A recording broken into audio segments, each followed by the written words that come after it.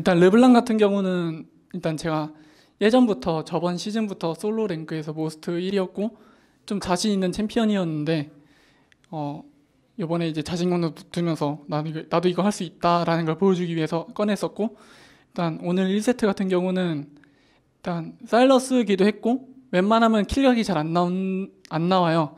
그래서 감전이나 콩콩이든지 뭐들 수는 있는데 어차피 kill각을 어차피 못 잡을 거 돈 돈을 빨리 띄어서 내 템 코어 템을 더 빨리 올리자 딱 그런 마인드로 도벽 들었던 것 같아요. 이건 저번에 그 어제 이틀 전에 MVP 때 인터뷰 때 한번 말했었는데 사실 서머 때 막 하면서 자신이 좀 없었어요. 왜냐면은 어, 좀- 하여튼 좀 자신이 없었는데 아까 말했듯이 코치님이나 선수들도 감독님들도 옆에서 이렇게 개인으로 이렇게 와 다독여 주시고 응원해 주시니까 거기서 이제 자신감이 붙어서 이제 꺼내 이제야 꺼낼 수 있었던 것 같아요.